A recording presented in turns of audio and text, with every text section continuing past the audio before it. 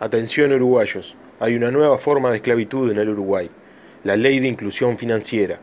El 12 de diciembre de 1842, el presidente de la República, Joaquín Suárez, promulgó una ley aboliendo la esclavitud.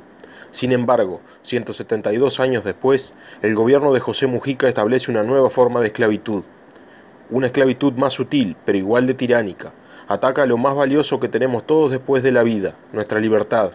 Los legisladores y otros actores políticos decidieron beneficiar a los banqueros perjudicando a todos los ciudadanos. Se viola una vez más nuestra Constitución. Ella es clara y no da lugar a falsas interpretaciones. En su artículo séptimo se establece que los habitantes de la República tienen derecho a ser protegidos en el goce de su vida, honor, libertad, seguridad, trabajo y propiedad. Nadie puede ser privado de estos derechos sino conforme a las leyes que se establecieron por razones de interés general.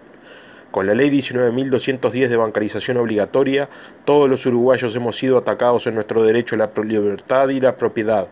Hemos sido afectados en estos derechos por razones de interés particular, los intereses de los banqueros, y no en razones de interés general como establece nuestra Constitución. Nuestro derecho a la libertad y a la propiedad no tienen color político, no son de izquierda, de centro ni de derecha, son nuestros derechos garantizados por la Constitución. El gobierno por sí y ante sí nos quita a la fuerza nuestra libertad de elegir y nuestro sagrado derecho a disponer de nuestro dinero, fruto de nuestro trabajo, como mejor nos parezca.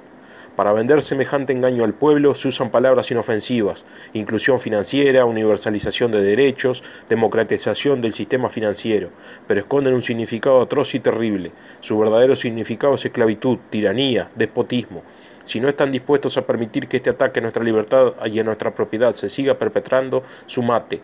No estamos en contra del progreso ni pretendemos volver al pasado. Estamos contra la tiranía y la violación de nuestro sagrado derecho a la libertad. No a la bancarización obligatoria, no a una nueva forma de esclavitud para el pueblo uruguayo. La esclavitud nos afecta a todos. Informate, sumate, acercate para luchar y gritar bien fuerte a los nuevos tiranos, no a la esclavitud, sí a la libertad.